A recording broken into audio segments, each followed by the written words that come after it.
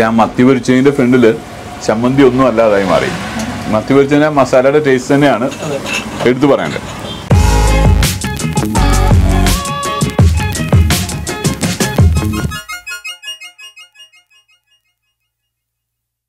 നമസ്കാരം.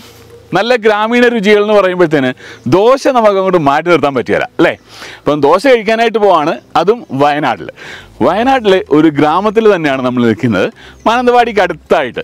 അപ്പോൾ ഞാൻ നേരത്തെ പറഞ്ഞിരുന്നു എന്റെ ഒരു സുഹൃത്തിന്റെ ഹോം സ്റ്റേയിൽ അല്ലെന്നുണ്ടെങ്കിൽ റിസോർട്ടിൽ നിന്നായിരിക്കും പറഞ്ഞിരുന്നത്. പക്ഷെ അത് തെറ്റാണ്. എക്കോ ലോഡ്ജാണ് ഇത് ഇവിടെ നോക്കിയാൽ കാണാം.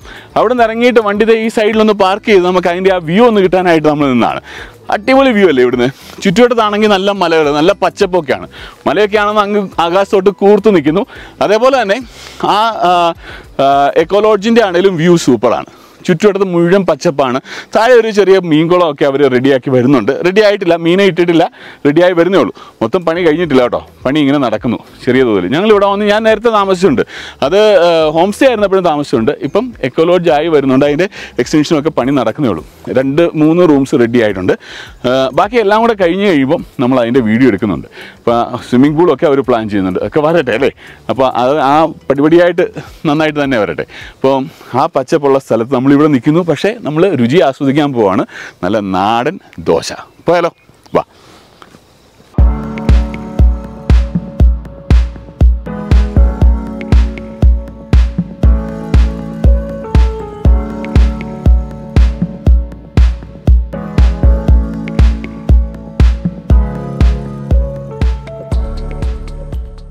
അതെ അങ്ങനെ നമ്മൾ കുറച്ചു നേരം വണ്ടിയൊക്കെ ഓടിച്ച് ഇവിടെ വന്നിട്ടുണ്ട്. നമുക്ക് ക്രോസ് ചെയ്യാം.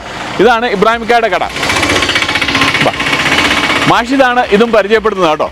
അപ്പോൾ മാഷിദുണ്ട് ഞാനുണ്ട് ഷബീറുണ്ട് അഭിലാഷുണ്ട്.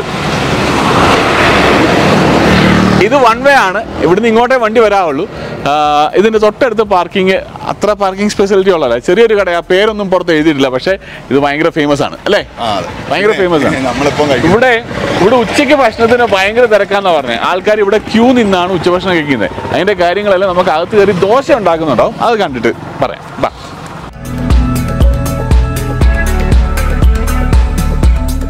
രാവിലെ ചോറ് വേണ്ടവർക്ക് ചോറുണ്ട്. ഉച്ചയ്ക്കാണ് ശരിക്കും പറഞ്ഞാൽ ചോറും കുറേയേറെ കറികളും ഉള്ളത്. ഇപ്പം രാവിലെ ദോശ ചമ്മന്തി അതേപോലെ തന്നെ മത്തി മത്തിപരിച്ച മത്തി പൊരിച്ചല്ലേ അക്ക? ഉണ്ട്.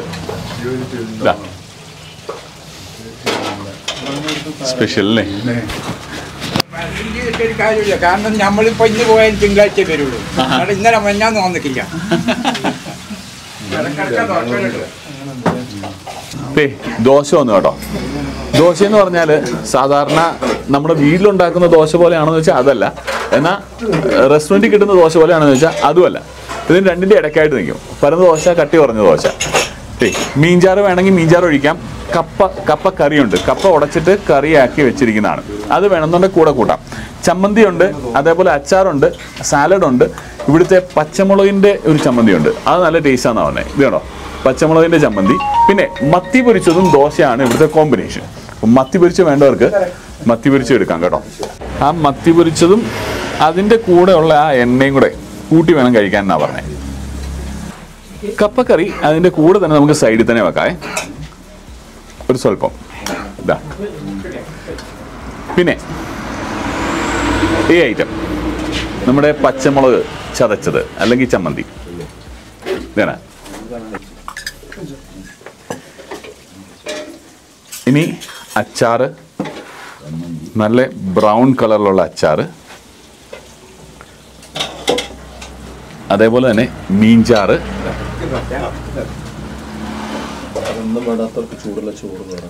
ചൂട് ചോറ് വേണം. അതെ വേണമെന്നുണ്ടെങ്കിൽ ചോറ് ഇവിടെ ഇരിപ്പുണ്ട്. ചോറ് കഴിക്കണമെന്നുണ്ടെങ്കിൽ അവർക്ക് ചോറും കഴിക്കാമെന്നാ പറഞ്ഞത് അതേപോലെ തന്നെ ചമ്മന്തി. തേങ്ങാ ചമ്മന്തി. ഇപ്പൊ എന്റെ പാത്രത്തിൽ വേറെ സ്ഥലമില്ല. ദോശ ഏത് സൈഡിൽ നിന്ന് കഴിക്കണമെന്നുള്ളതാണ്. ഏ അത് നമുക്ക് ആ മത്തിയെ അങ്ങോട്ട് തുടങ്ങാം ചെറിയ മത്തി അത് പറഞ്ഞിട്ട് നന്നായിട്ട് മസാല പുരണ്ടിരിക്കുന്ന മത്തി. അതിന് മുള്ളൊക്കെ കൂട്ടി ഞാൻ കഴിക്കാനുള്ളൂ. ഒന്നുമില്ല മാറ്റി വെക്കാനൊന്നുമില്ല. അടിപൊളി ടേസ്റ്റ് ആണ് കേട്ടോ. ആ മസാലയ്ക്ക് ഒരു പ്രത്യേക ടേസ്റ്റ് ആണ് അല്ലേ? രാവിലെ തന്നെ വരികയാണെങ്കിൽ തിരക്ക് രാവിലെ ഉണ്ട് കേട്ടോ. ചിലപ്പോഴാണെങ്കിൽ ക്യൂ നിൽക്കേണ്ടതായിട്ട് വരും. അതേപോലെ തന്നെ ഇക്ക പറഞ്ഞ ഒരു കാര്യമുണ്ട്. എല്ലാ ദിവസവും ഇക്ക തുറക്കാറില്ല കട. ചില ദിവസം ഇക്കയ്ക്ക് പറ്റുന്ന ദിവസങ്ങൾ മാത്രമേ തുറക്കാറുള്ളൂ. അപ്പം വിളിച്ച് ചോദിക്കാനായിട്ട് നമ്പർ ഉണ്ടോ എന്ന് ഞാൻ ചോദിക്കട്ടെ. ഇക്ക നമ്പർ വല്ലതും ഉണ്ടോ? തുറന്നിട്ടുണ്ടോ എന്ന് ചോദിക്കാൻ? ആ നമ്പർ ഉണ്ട് നമ്പർ തരും. അപ്പം ഞാൻ നമ്പർ താഴെ ഡിസ്ക്രിപ്ഷനിൽ കൊടുക്കാം. വിളിച്ച് ചോദിച്ചിട്ടേ വരാം അവിടെ ഇനിയിപ്പം ദോശ. ദോശയും ചമ്മന്തി. നമ്മുടെ തേങ്ങാ ചമ്മന്തി. ഇതാ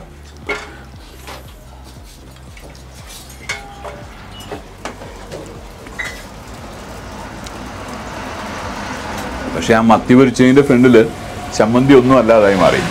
മത്തി പൊരിച്ചതിന് മസാലയുടെ ടേസ്റ്റ് തന്നെയാണ് എടുത്തു പറയേണ്ടത്. നല്ലതാണോ. ഒന്ന് മീൻകറിയും ദോശയും കൂടെ കഴിച്ചാലോ അടുത്തത്? ആ മീൻചാറിനകത്ത് ദോശ നന്നായിട്ട് മുക്കിയിട്ടൊന്ന് കഴിച്ചു നോക്കേ. ശരിക്കും പറഞ്ഞാണല്ലോ വേറൊരു കാര്യം കൂടെ പറയാനുണ്ട്. ഇവിടെ ഒരു കണക്കെന്ന് പറയുന്നത് ഇക്ക വെക്കുന്നില്ല. ഇവിടെ മേശപ്പുറത്ത് കൊണ്ട് വെച്ചിട്ടുണ്ട്. നമുക്ക് എന്താണോ വേണ്ടത് നമുക്ക് അതെടുത്ത് കഴിക്കാം. മീൻ എത്ര എണ്ണം ഉണ്ടെന്ന് കേട്ട് പിന്നെ പറഞ്ഞാൽ മതി. കപ്പ വേണമെങ്കിൽ കപ്പ. ചോറാണ് വേണമെന്നുണ്ടെങ്കിൽ ചോറ്. മീൻചാറ് വേണം വേണമെങ്കിലും എടുക്കാം. ചമ്മന്തി വേണമെന്നുണ്ടെങ്കിൽ ചമ്മന്തി. അത് നമ്മുടെ ഇഷ്ടം പോലെ അങ്ങ് എടുത്ത് കഴിക്കാന്നുള്ളേ ഉള്ളൂ.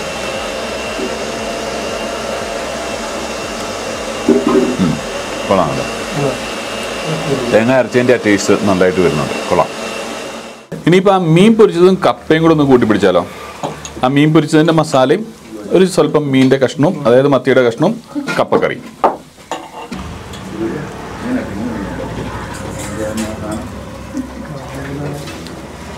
മീൻ പൊരിച്ചതിന് ഒരു പ്രത്യേക ടേസ്റ്റ് തന്നെയാണ് ഒരു രക്ഷയില്ലാത്ത ടേസ്റ്റ് പറയാതിരിക്കാൻ പറ്റില്ല.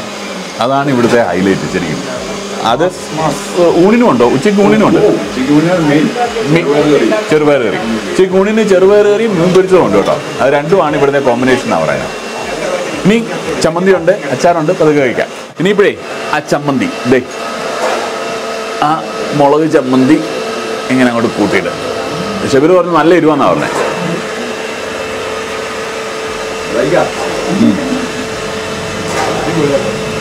ഇതിനകത്ത് ചുവന്നുള്ളിയും ചേർത്തിട്ടുള്ളതാണോ.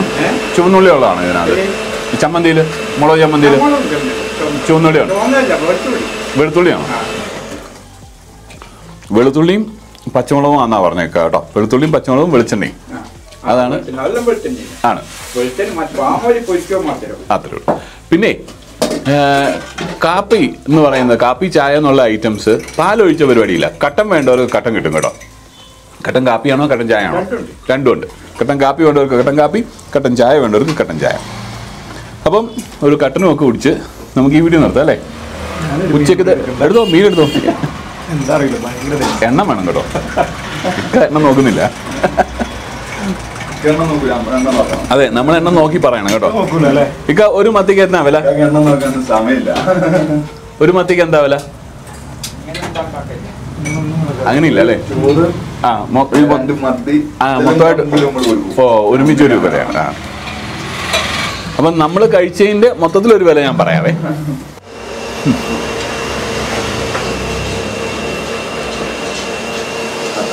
കട്ടൻ കട്ടൻ വന്നു. മാഷിത് പറഞ്ഞതെന്നു വെച്ചാൽ സാധാരണ നമ്മൾ പോയി കഴിക്കുന്ന കടകളിലെ ദോശയിൽ നിന്നൊക്കെ വ്യത്യസ്തമായ രുചിയാണ് ദോശയ്ക്കും അതേപോലെ തന്നെ അതിന്റെ കൂടെ കിട്ടുന്ന മത്തിക്കറിക്കും. മത്തിക്കറി എന്നല്ല മത്തി പൊരിച്ചത് അല്ലേ? വർഷങ്ങളായിട്ട്. വർഷങ്ങളായിട്ടുള്ളതാണ് കേട്ടോ. അപ്പോൾ ഒരു കംപ്ലീറ്റ്ലി ഡിഫറെന്റ് എക്സ്പീരിയൻസ് ആണ്. തിരക്ക് പ്രശ്നമില്ലെന്നുണ്ടെങ്കിലേ ഒരാളും തിരക്കുണ്ടാവും. ആ, ചെറിയൊരു സ്ഥലമാണ് അത് അഡ്ജസ്റ്റ് ചെയ്ത് നമ്മൾ കഴിക്കുക. രുചിയുടെ കാര്യത്തിൽ അടിപൊളിയാണ്. നോ കോംപ്രമൈസ് അടിപൊളിയാണ്. അത് പറയാം. പാർക്കിങ്ങിന്റെ കാര്യം ഞാൻ പറഞ്ഞത്. പാർക്കിംഗ് ഇച്ചിരി അങ്ങോട്ടും ഇങ്ങോട്ടും മാറ്റിയാൽ നമുക്ക് പാർക്കിംഗ് ചെയ്യാം. ഞാൻ നല്ല രുചിയാണ്. രുചിയിൽ ഒരു കോംപ്രമൈസും ഇല്ല എന്ന് പറഞ്ഞപ്പോൾ തന്നെ എനിക്ക് പറഞ്ഞൊരു കാര്യമുണ്ട്. രുചി നല്ലതാവാനായിട്ടുള്ള കാരണം എന്ന് പറഞ്ഞാൽ നമുക്ക് കിട്ടുന്ന സാധനങ്ങൾ ഇതിന് ചേർക്കുന്ന സാധനങ്ങൾ നല്ലതാണ് കിട്ടുന്നത് അവരെങ്ങാനും ചെറിയ മിസ്റ്റേക്ക് വരുത്തിയാൽ നമ്മുടെ രുചിയിലും മിസ്റ്റേക്ക് വരും. അത് സത്യമായുള്ള കാര്യമാണ്. ഇക്ക അതിനകത്തൊന്നും ഇക്കയുടെ വലിയൊരു കേമത്തോ അല്ലെന്നാണ് ഇക്ക പറയുന്നത് എനിക്ക് കിട്ടുന്ന സാധനങ്ങൾ നല്ലതായതുകൊണ്ട് നിങ്ങൾക്ക് നല്ല സാധനങ്ങൾ തരാൻ പറ്റുന്നു എന്നാണ് പറഞ്ഞത്. അത് സത്യമല്ലേ? സത്യമാണ്. അപ്പോൾ കട്ടൻ ചായ ഉണ്ട് എരിവുള്ള ചമ്മന്തിയൊക്കെ കൂട്ടി ദോശയൊക്കെ കഴിച്ചതിന് ശേഷം കട്ടൻ ചായ അങ്ങോട്ട് ഊറ്റി കുടിച്ച് നമുക്ക് വീട് നടത്താം.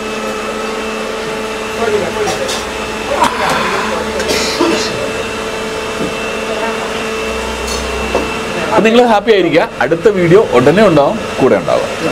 ബൈ ഇവരെ ഒരു ബൈ പറയോ. അതെ നെയ്ച്ചോറും വന്നു കേട്ടോ. അത് ഉച്ചക്കത്തെ ഊണാണ് ശരിക്കും പറഞ്ഞ കേട്ടോ. ഉച്ചക്കത്തേക്കിനുള്ള സംഭവങ്ങളെല്ലാം വന്നു വന്ന് വന്നുകൊണ്ടിരിക്കുകയാണ്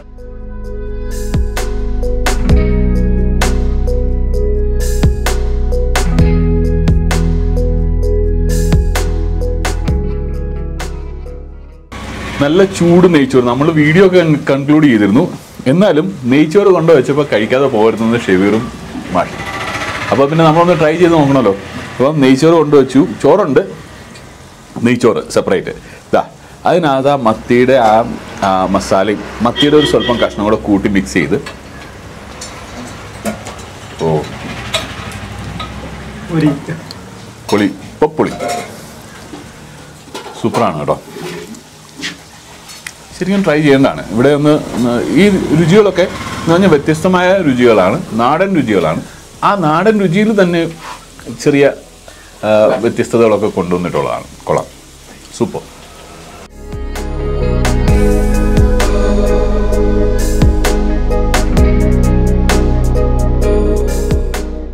അതെ നമ്മൾ കഴിച്ചതിന്റെ വില പറയാമെന്ന് ഞാൻ പറഞ്ഞായിരുന്നു.